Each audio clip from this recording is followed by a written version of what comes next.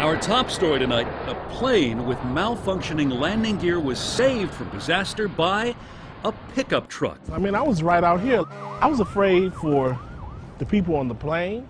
Like the front wheels weren't coming down, and so it needed help landing. Inside the terminal, passengers awaiting their flights watched it all unfold. And We heard this like huge commotion, and everyone rushed toward the window. Yeah. We see an airplane coming in, and it's gonna crash or so, I think. This truck just comes out of nowhere, and it just like came right under it, and the plane just landed right, right on top of the truck.